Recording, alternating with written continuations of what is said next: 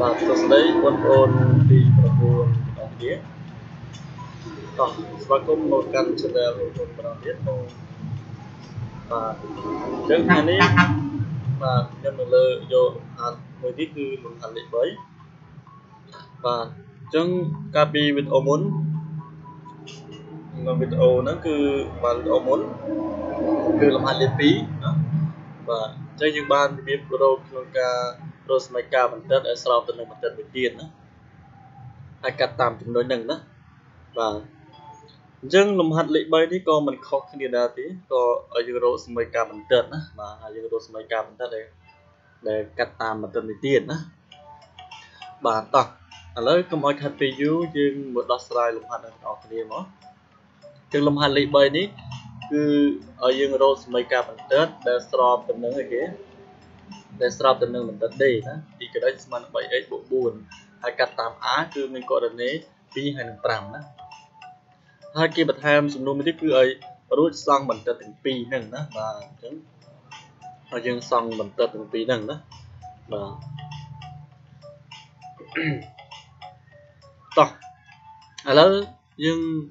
រកដោយតាមលំហាត់លេខ2ដែរវីដេអូមុនណាវិធីរបស់យើងគឺត្រូវអីគេគឺត្រូវតាងណាតាតាងចំណុចមួយទៀតណាបាទ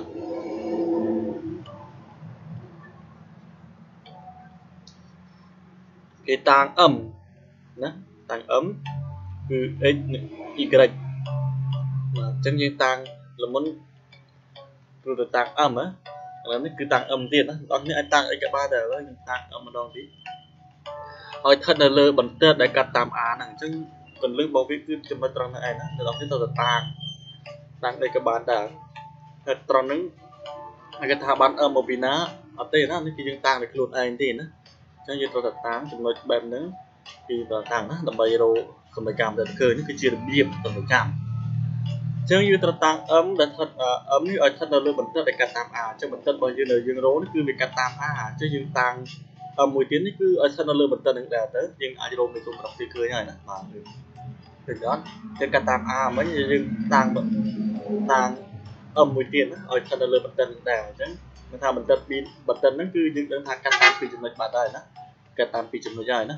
អញ្ចឹងយើងប្រកាសជាអាចរកមេគុណប្រាប់ទិសវាបានណា យើងបានមេគុណប្រាប់ទិសនៃសមីការបន្ទាត់នេះគឺបន្ទាត់ AM ដែលកាត់តាម A និង M អញ្ចឹងកាត់តាមពីចំណុចអញ្ចឹងយើងអាចរកមេគុណប្រាប់ទិសបានមែនតាបាទអញ្ចឹងយើងបានមេគុណប្រាប់ទិស A ស្មើនឹង y2 ដល់ y1 លើ x2 ដល់ x1 ជួសវាចូលមកអញ្ចឹង m របស់យើងបាទជាចំណុចលេខ2ហើយ a របស់យើងចំណុចលេខ1ហើយណាបាទអញ្ចឹងយើងបាន y2 គឺ ym ទាំងឯងគឺ y ហើយដក5ដក5គឺវាអត់បន្តគឺ y1 គឺ5ហើយដកដក5មកហើយ x2 គឺ x ហើយ x1 គឺគឺ2ហ្នឹងឯងណាបាទគឺវាចូលទៅមកទៅយើងជួបបកអញ្ចឹងហើយគឺយើងបាននៃគុណប្រាប់ទិសនឹងហើយគឺនៃគុណប្រាប់ទិសនៃសម័យកម្មទៅយើងចង់រោហ្នឹងឯងគឺយើងឃើញនៃគុណប្រាប់ទិសហើយហើយមួយទៀតគឺយើងកលឹះរបស់យើងគឺរោនៃគុណប្រាប់ទិសរបស់បន្តិតដេមួយទៀតអញ្ចឹង បន្តិតដេគឺយើងអត់ពិបាកទេយើងអាចរោនៃគុណប្រាប់ទិសឃើញហើយណាបាទអញ្ចឹងគឺស្មើនឹង3ណានៃគុណប្រាប់ទិសមកវាគឺនៅខាងមុខហ្នឹងគឺនៃគុណគឺ a' តាម a' គឺស្មើនឹង3ណាបាទអញ្ចឹងក្រោយពីយើងតាំងអស់ហើយមកទៀតយើងឃើញថាបន្តិតដែលយើងចង់រោនេះគឺបាទគឺវាស្របទៅនឹងបន្តិត D ណាអញ្ចឹងបើបន្តិតទាំងពីរនេះស្របគ្នាលុះត្រាតែមេគុណប្រាប់ទៅរបស់វាគឺស្មើគ្នាដែរណាបាទអញ្ចឹង បាទលុះត្រាតែ a ស្មើនឹង a' ចំណែក a របស់យើងគឺស្មើនឹង y 2 y ដល់5លើ x ដល់2ទៅគឺវាចូលមកហើយ a' គឺស្មើនឹង3ទៅគឺវាចូលមកយើងបានបាទអញ្ចឹងយើងបាន y ដក5លើ x ដល់2ស្មើនឹង3ណាហ្នឹងដាក់ទៅទៅណាត្រង់តាមទៅណាបាទតាមទៅគឺយើងចំនួនវាទេគឺ a របស់យើងគឺស្មើនឹង y 2 y ដក5លើ x ដក2ណាគឺវាចូលមកហើយ a' របស់យើងស្មើនឹង3អញ្ចឹងថាតែពីនេះគឺអាចទីស្មើគ្នាបានតោះទៀត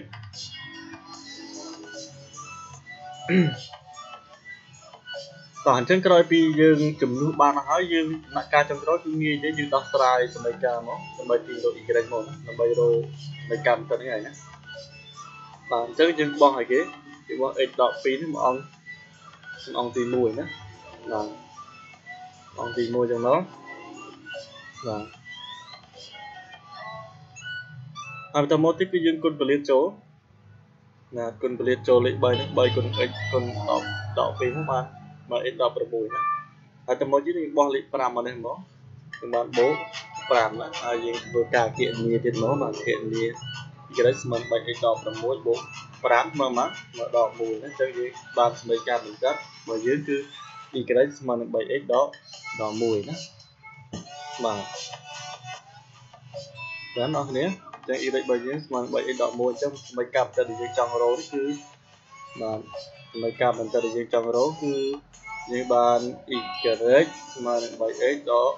1ណាបាទបាទអញ្ចឹង សង្ឃឹមថាអ្នកនរគ្នាច្រើនណាបាទខ្ញុំដល់អ្នកនរគ្នាច្រើនហើយចំណុចនេះគឺដូចតែនឹងលំហាត់លេខពីវីដេអូមុនទេណាបាទអញ្ចឹងអ្នកនរគ្នានឹងបានមិនទាន់ហើយបើមិនយល់ទេអាចព្យាយាមធ្វើម្ដងហើយម្ដងទៀតបាទជឿជាក់ថាអ្នកនរគ្នានឹងយល់បានណាបាទបាទអញ្ចឹងយើងចប់សំណួរនឹងមួយហើយបាទយើងចប់សំណួរនឹងមួយហើយគឺនៅសល់សំណួរមួយទៀតគឺសំណួរចុងក្រោយគឺ ក្រោយពីយើងរកសមីកម្មបន្តិចឃើញហើយក៏ឲ្យយើងសង់បន្តិចទី2ហ្នឹងអញ្ចឹងបន្តិចទី2នេះគឺបន្តិចដែលយើងរកឃើញមួយហើយនឹងបន្តិច D ហ្នឹងណាបាទតោះឥឡូវយើងទៅការធ្វើការសង់របស់គ្នាណា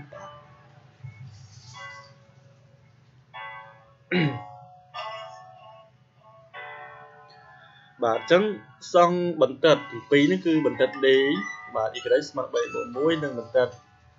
y ស្មើនឹង3ដក1ដែលយើងរកហ្នឹងយើងចាប់ដល់ធ្វើការសង់ អញ្ចឹងដើម្បីសង់បន្តិតបានណាយើងដឹងហើយណាដើម្បីសង់បន្តិតបានយើងត្រូវចេះឲ្យតារាងតម្លៃលេខទៀតណាបាទតារាងឲ្យតម្លៃលេខហ្នឹងទើបយើងធ្វើការសង់ហើយយើងសង់នោះគឺយើងសង់នៅលើប្លង់ coordinate ណាដែលយើងដឹងហើយគឺមានអជោនិងអដេហ្នឹងណាអជោហៅថា ay និងបាទនិងអដេហៅថា ix ណាបាទ x ណាបាទដល់ឥឡូវយើងទៅមើលការឲ្យតម្លៃនៃ បាទ y ស្មើនឹង3បូក1តិត d ហ្នឹងអញ្ចឹងយើងឲ្យតម្លៃមិនមកបាទអ្នកនរគ្នាអាចឲ្យតម្លៃក្នុងការឲ្យតម្លៃហ្នឹងគឺយើងឲ្យខ្លួនយើងណាបាទចង់ឲ្យប្រមាណក៏បានដែរណាប៉ុន្តែយើងត្រូវតែឆ្លាតដែរណាគឺយើងឲ្យលេខកាន់តែតិចកាន់តែងាយស្រួលសំបាទបាទតោះឥឡូវយើងមើលមកនេះគឺ x តម្លៃរបស់ x អានេះគឺ y អញ្ចឹងបើសិនជាឲ្យ y ស្មើ x ស្មើ0អញ្ចឹងយក0គឺលេខលេខ3មកអញ្ចឹង0 គុណ3 0 0បូក4គឺស្មើស្មើ4អញ្ចឹងហេតុក្រេរបស់យើងស្មើ4បើឲ្យ x ស្មើដក1ម្ដងយើងដក1ទៅជួសបានចុះ1ហើយ x ចឹងដក1គុណ3បានដក3ដក3បូក4ស្មើស្មើ1បាទអញ្ចឹងខ្ញុំឲ្យតែ2ទេអ្នកនរគ្នាអាចឲ្យច្រើនជាងនេះក៏បានណាបាទហើយមួយទៀតគឺឲ្យតារាងតម្លៃលេខនៃសមីការបន្តិចមួយទៀតគឺ y ស្មើនឹង 3x ដក1ហ្នឹងបាទឲ្យតែ2 2ទេ គេអាចឲ្យច្រើនជាងនេះក៏បានឲ្យ3ច្រក3 4ទៅក៏បានដែរណាហើយ x លើ y គឺបាទដូចគ្នាដែរបើសិនជាយើងឲ្យ x ស្មើ0យើង0នេះទៅជួបកន្លែង x ផងបាទយើង0នេះទៅជួបកន្លែង x បាទយើង0នេះទៅជួបកន្លែង x មកអញ្ចឹងបាន0 0គុណនឹង3គឺបានបាន0 0ដក1គឺដក1ដដែលតែតែបើសិនជា x ស្មើ1ម្ដងយក1ទៅជួបកន្លែង x អញ្ចឹង1គុណ x គឺបាទ1គុណនឹង3គឺ 3 3ដក1វាស្មើនឹង2បាទអញ្ចឹងខ្ញុំឲ្យ2ចំណុចទេអ្នកនរគ្នាអាចឲ្យច្រើនក៏បានអញ្ចឹងក្រោយពីយើងឲ្យតម្លៃលេខបានហើយយើងចាប់ដើមធ្វើការសង់ម្ដងគឺយើងយកចំណុចដែលយើងបាននេះយកទៅសង់នៅក្នុងប្លង់ coordinate របស់យើងណាបាទតោះឥឡូវចាប់ដើមសង់ទាំងអស់គ្នាណាឥឡូវទឹកពេលឲ្យអ្នកនរសង់មុនបាទបាទអញ្ចឹងគិតសង់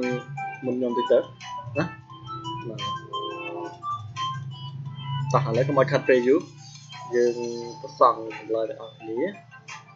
តែនតែនបាទហ្នឹងគឺយើងឃើញថាបន្ទិតរបស់យើងគាត់ជាស្រោបគ្នាមែនណាគេស្រោបគ្នាមែនអញ្ចឹងយើងសង់មកយើងភ្ជាប់មកគឺយើងបានបន្ទិតមួយនេះគឺបន្ទិត y ស្មើ 3 x 4គឺបន្ទិត d ហ្នឹងណាហើយយើងបានបន្ទិតមួយទៀតគឺបន្ទិត y ស្មើ 3 x 1ណាគឺបន្ទិតរបស់យើងណា បាទអញ្ចឹងយើងសង់មកយើងឃើញថាបន្ទិតរបស់យើងគឺក្របគ្នាវាណាក្របគ្នាណាហើយក្នុងការសង់គឺសង្ឃឹមថាអ្នកនរគ្នានឹងទាន់ណាថាយល់ព្រោះថាចំណុចនេះគឺយើងបានរៀនពីថ្នាក់ទី8ដែលមុនអស់ហើយណាចំណុចមុនមុនអស់ហើយណាបាទអញ្ចឹងថ្ងៃនេះខ្ញុំមានប៉ុណ្្នឹងឯងចង់បង្ហាញជូនយើងណាអញ្ចឹងសង្ឃឹមថាអ្នកទាំងអស់គ្នានឹងយល់ហើយនឹងពេញចិត្តនៅវីដេអូនេះ បើពេញចិត្តក៏សូមជួយ like ហើយនឹងជួយ share ទៅកាន់មិត្តរបស់យើងណាហើយជួយ subscribe ទៅផងណាដើម្បីឲ្យអ្នកទាំងគ្នាទទួលបានវីដេអូថ្មីៗបាទពីពី channel របស់ខ្ញុំផងដែរណាបាទអញ្ចឹងក៏សូមអរគុណសូមជម្រាបលាណា